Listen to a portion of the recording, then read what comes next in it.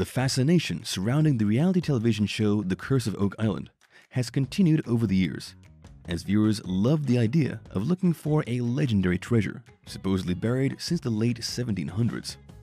People also believed that it was cursed, which added more intrigue and attracted not only treasure hunters, but also those who love tales. Some believed that there's an unbelievable amount of gold from a Spanish galleon or historical artifacts that were left by the Knights Templar. Some thought that loot of the 17th century Scottish pirate Captain Kidd was secretly stashed there, all highly unlikely given the time span, whether the tales were true or fabricated. The TV show became a platform for people to learn more about history, as the stars of each season of the show struggled to unravel the mystery of Oak Island. In relatively recent times, the story surfaced when the Lagina brothers, Marty and Rick, came across an old article about Oak Island in Nova Scotia, Canada, from a 1965 edition of Reader's Digest. Initially, it was the older brother Rick who, when 11 years old, became absorbed in the story about booby traps and wood timbers found in the Money Pit. He told the tale to his younger brother Marty, who came to share his fascination for the island.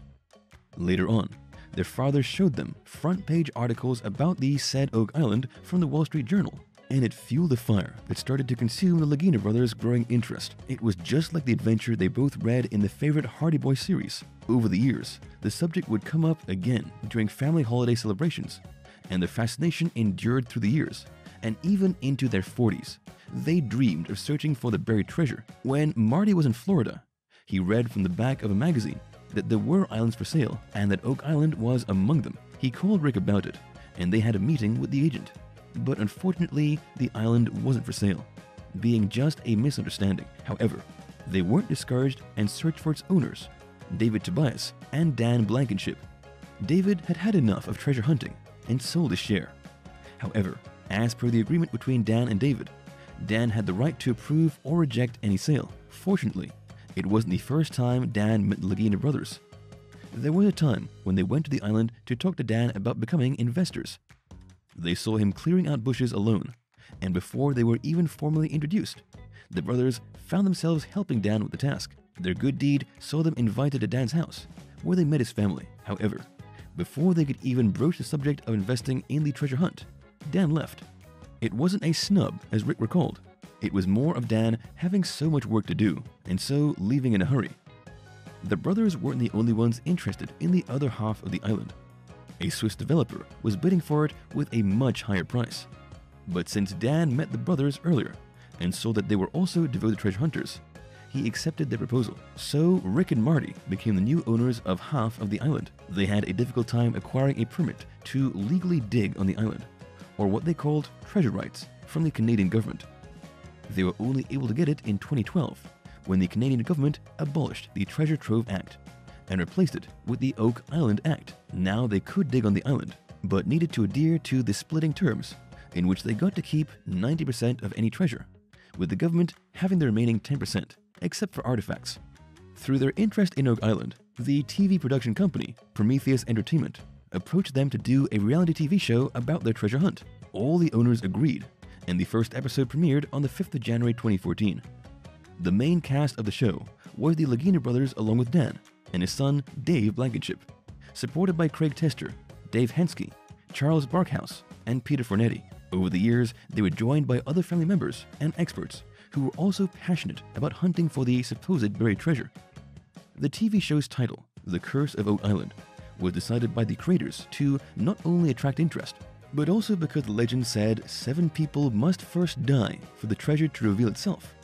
Apparently, there had already been six deaths and during the first episode of the show, it was implied that someone from the present cast might be next.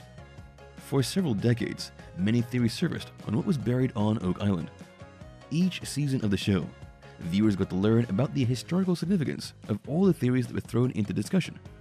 It was only fitting to have the show The Curse of Oak Island aired over cable TV's History Channel and as Rick and Marty took steps closer to solving whatever mystery surrounded it, fans were treated to more interesting ways of learning important historical events. In the late 18th century, a man made hole, later nicknamed the Money Pit, was discovered by 16 year old Daniel McGinnis and his two friends while going around the 140 acre wooded oak island, somewhere on the Atlantic coast of Nova Scotia.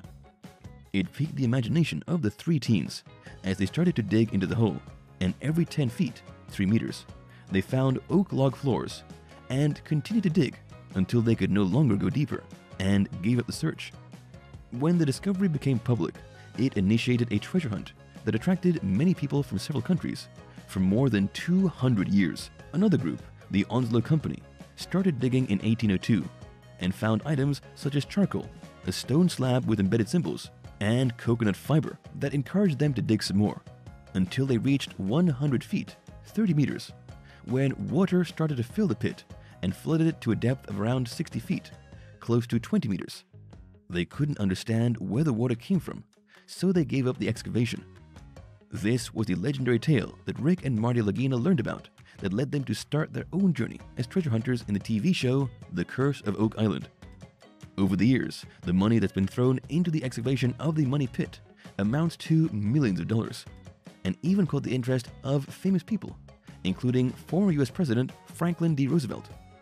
When he was a 27 year old law clerk, he joined his former schoolmates in the Old Gold Salvage and Wrecking Company expedition, and they excavated the money pit hoping to get their hands on the treasure. In the fourth season of the show, FDR's fascination with the Oak Island treasure was discussed.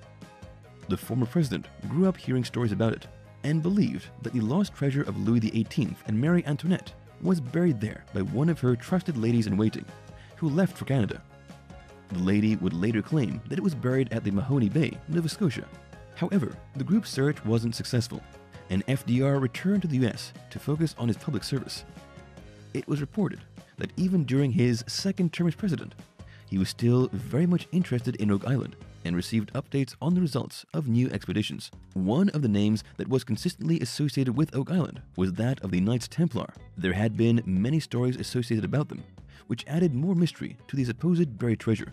In the medieval era, a large association of devout Christians, known as the Knights Templar, undertook several missions, including providing security to Europeans who traveled to the Holy Land at that time, it was difficult not to be killed or robbed when passing the Muslim controlled areas. Without the protection of the Knights Templar, they even carried out military operations and seemed to be well funded. Initially, they were chastised by some religious leaders, but then in 1129, prominent French abbot Bernard of Clairvaux gave his full support to this secretive group. Moreover, in 1139, Pope Innocent II released a papal bull that gave the Knights Templar special privileges so that they could fully act on their holy missions. They were under no other authority except that of the Pope and were exempt from paying taxes, which made the group considerably wealthier. It was justified by each member swearing an oath of obedience, chastity, and poverty. The last one somewhat doubtful. No member could swear, drink, or gamble. But their numbers grew as years passed, and they established several chapters in Western Europe. Some historians believed that the lost treasure of the organization, including Christian relics such as the Holy Grail and the Ark of the Covenant, were buried in the Money Pit. In the third season of the TV show, the treasure hunting team visited the town of Overton, which showed them the Overstone Stone. It was a huge carved boulder that was used to commemorate the relationship between the Mi'kmaq local tribe and the Europeans. Some of the stone carvings had the cross symbol of the Templars, whom local historians believed arrived from Portugal. These markings led to the theory of the huge possibility that they hid their treasure on Oak Island. When the group was disbanded and most of the known members tortured and killed, over the next few years, there were many interested parties trying to get a hold of the Templars' amassed wealth. Oak Island was believed to have become a stopover during the early centuries for many explorers and travelers, and when human bones of European origin were found on the island, it gave more credibility to this popular theory. In the sixth TV season, the team found a lead Templar cross, along with Templar coins, and had it examined by experts. The lead material wasn't from North America, but had European origins, particularly from southern France. There's a little town there that was directly connected to the Knights Templar, and the Grand Master of the current chapter of the organization there believed that some of the precious artifacts were buried on the island. In the fourth season of The Curse of Oak Island, the team went to South Shore Genealogy Center in Lunenburg to look at some old maps of the island. To give them some clue, they found it interesting that in one part of the island, it was listed as Kidd's Treasure, which meant that even back then, cartographers already thought that the pirate's treasure was buried in the island. When the money pit was first discovered to have been flooded after digging to 100 feet, or about 30 meters, it was believed that it was booby trapped by a pirate. One of the theories shown during the first season of the TV show was that the notorious Captain Kidd buried his looted treasure in Oak Island. It was said that the early settlers on the island shared that there was a sailor on his deathbed who claimed to be a crew member of Captain Kidd's ship, who told him that there was 2 million pounds buried on the island, presumably gold. Apparently, the 17th century Scottish pirate captain couldn't carry his loot wherever he went, and so he hid it on the wooded island. When Captain Kidd was later captured, he told the authorities that he was willing to give up his loot in exchange for his life. He later claimed that he had buried it in a secluded island somewhere east of Boston. But the authorities didn't want him back on the seas anymore, so they just hanged him. The team became excited about the findings since back in 1802, when a stone slab carved with strange symbols was discovered by the Onslow Company after reaching 90 feet. It was recently decoded, and experts translated it to 40 feet below. 2 million are buried. The sixth season discussed a fascinating theory that viewers undoubtedly found engrossing. The Curse of Oak Island team met an author named Alan Butler in Scotland to fully understand the connection of Enoch from the Old Testament to the island. In past centuries, most of the people investigating the Money Pit were known members of the Freemasons. If the Knights Templar theory was right, then they were just following Enoch, the great grandfather of Noah. The Freemasons owned an old series of documents called the Legend of Enoch, about how Enoch built a chamber to ensure a place where they could store all the treasure and information before the Great Flood destroyed everything. Some people believe that the underground chamber could also be found in Oak Island, as similar to what Enoch did in ancient time. The Knights Templar dug the money pit to store their priceless religious artifacts. It was another theory that the team would follow through in future seasons. While Rick and Marty started this journey as treasure hunters, they came to a point that they were now committed to understanding what really took place 200 or more years ago. Even the producers of the show and their partners were rooting for them to make a discovery as a sort of closure. They all wanted to know who excavated the money pit and why. Most of the experts who have worked with them believe that the team was getting closer to finding the truth. The Lagina brothers knew that it's now their responsibility as to how people would regard Oak Island and hoped that they could soon solve the mystery surrounding it.